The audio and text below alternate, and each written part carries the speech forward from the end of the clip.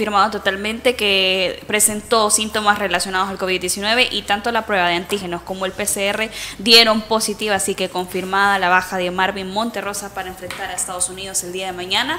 Y también eh, queremos hacerle una atenta invitación, del día de mañana será full selecta, tendremos análisis, planteamientos tanto de Estados Unidos como de nuestra selección previo a este partido, una situación que también nos deja a nosotros complicada, saber armar pero, el posible 11. Pero en el caso de Marvin, entonces lo perdés para los tres partidos, ¿verdad? Porque si te sale ahorita no, no veo yo cómo. Tendrán que llamar a alguien más. Otro de Oscar Rodríguez. Oscar Rodríguez.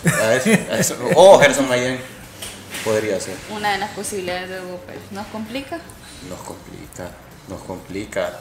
Y, y más aún, a ver, como bien va venido mencionando el profe Elmer, si nosotros solo nos enfocamos en Estados Unidos, estamos mal.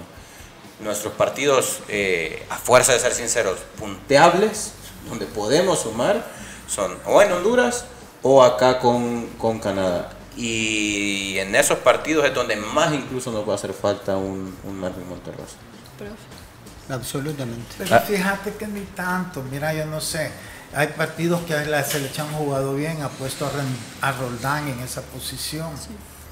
Y pone a, a Darwin. A, a, Larín, Alex Larín en el lateral izquierdo. Entonces yo, yo no lo veo tan, tan dramático porque Marvin no vaya a jugar.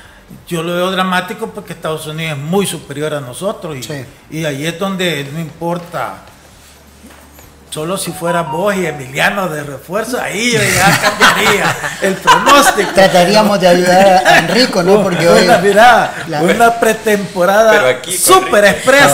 La, velocidad, me imagino, ¿no? No, no, Sí, sobre todo la velocidad.